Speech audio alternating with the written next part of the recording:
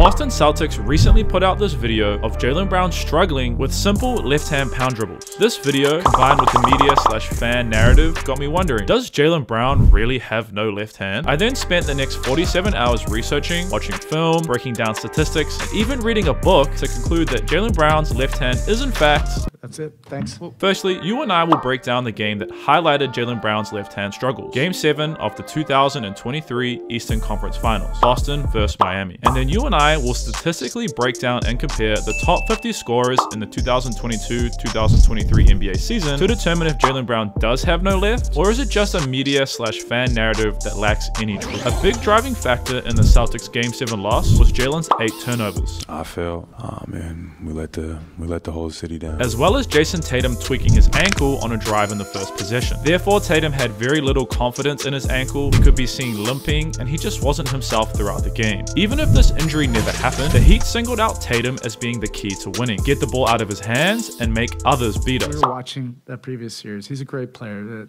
He deserves the respect of our, of our efforts to try to, you know, make it tough. Miami opted to flat show slash switch his pick and rolls to get the ball out of his hands. They would heavily help whenever he drove to force kickouts or get steals, and they would always have defensive specialist Caleb Martin or Jimmy Butler guard him. You see this reflected in the stats. Jayson Tatum attempted 148 field goals in the 76ers 7-game series, which includes a game 2 where he only played 20 minutes due to foul trouble. Compared to the Heat series, Tatum was only able to attempt 128 shots, a huge 20 shot difference. Miami's defense on Tatum Tatum shifted the focus to Brown. He attempted 109 shots in the 76ers series and had a 15 shot increase in the Heat series to 134 attempts, therefore making him the first option, placing a lot more pressure on him to perform. This pressure placed Jaylen in a redhead mindset. No, not like that. Redhead is a term created by mental skills coach Gilbert Enoka, who has been the All Blacks mental skills coach since 2000. Gilbert states that people exist between two states of mind, those being the red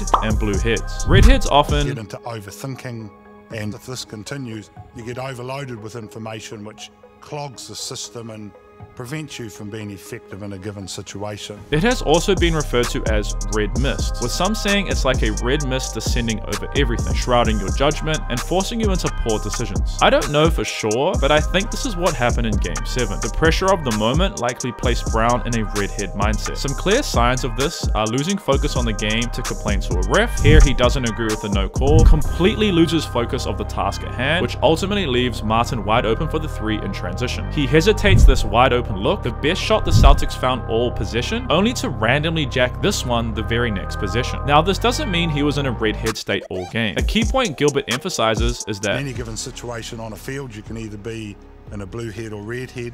Most normally, you'll tend to traverse the two. Jaylen still made open shots and winning plays, but ultimately he was in a red head state more than he was in a blue head state. It's important that you are aware of the signs that you're entering a red head state. For example, do you notice any tension that you're feeling right now whilst you're watching this video? Are you clenching your jaw, tensing your shoulders, or scrunching your face? I want you to take a slow inhale through your nose and a slow exhale through your mouth and try to remain relaxed for the rest of the video. During your games, the redhead mind state may show up similar to Jaylen, with feelings of frustration being shown as complaining to refs, coaches, or teammates. It could also be feelings of desperation, making a poor play and then forcing the next player to try and make up for it, only making things worse. This is where you need anchors, simple actions to ground you in moments of pressure to help you remain blue. Common examples from the book Legacy were breathing techniques, stomping slash putting their cleats into the ground to remind the players to remain grounded, and looking up at the sky to reflect on those who have come before them, or thinking about those who are no longer with us. Bluehead is the opposite of the redhead. Um, a state of mind where you're very clear,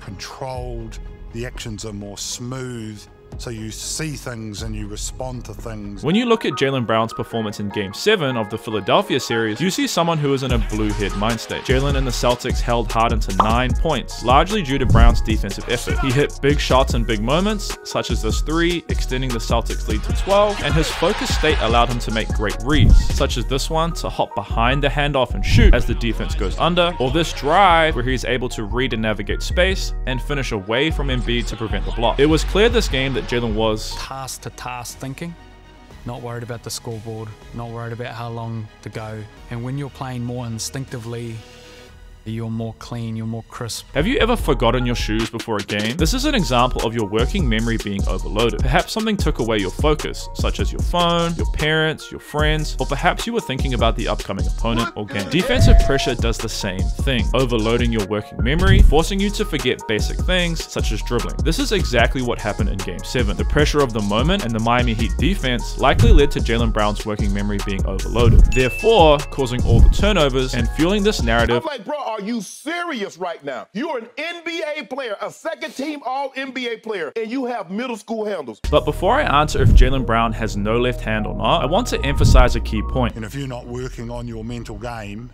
then somebody else out there is, and one day the two of you are going to meet.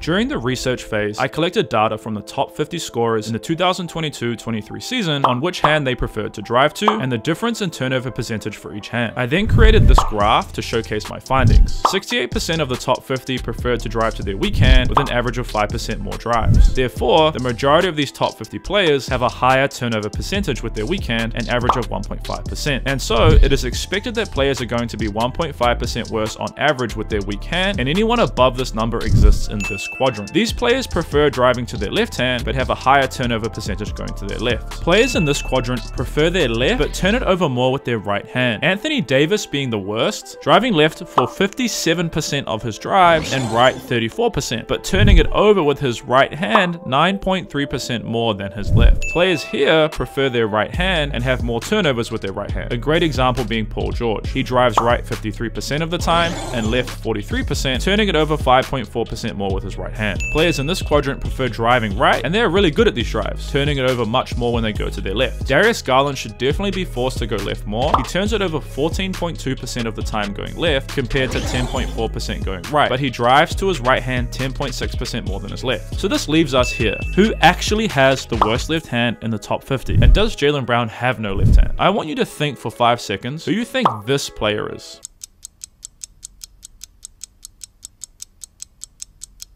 It's LaMelo Ball. He drives to his left hand 3.1% more than his right, but has an insane 14.3% turnover difference between his right and left hand. He is somewhat efficient with his right hand, only turning it over 9.1% of his drives, but a whopping 23.4% on left hand drives, nearly a quarter of the time. The next four in the top five worst left hand drivers in the top 50 are Desmond Bane, Jamal Murray, Kevin Durant. But before I tell you the final player, let's look at Jaylen Brown's stats to see if he ranks on this list. Jaylen prefers his left hand driving to it 51% of the time compared to 44% to his right. He turns it over 9.6% of the time going right and 16.6% of the time going left, a 7% difference. If you think about it, this makes total sense. He drives left 7% more and turns it over left 7% more. This difference, however, does make him fifth on our list. So to answer the question, does Jaylen Brown really have no left hand? Jaylen is someone you want to force left. He is more likely to turn it over going left, and this is a clear weakness that the Heat exploited during their series series. But does this mean he has no left hand? No. Jaylen has a good left hand, but likely the pressure of the moment in these big games and a whole defensive system focused on exploiting a weak area in his game sure makes it seem like it. If you want to improve your offensive game, you have to watch this video next where I teach you 4 key tips on becoming an elite isolation player.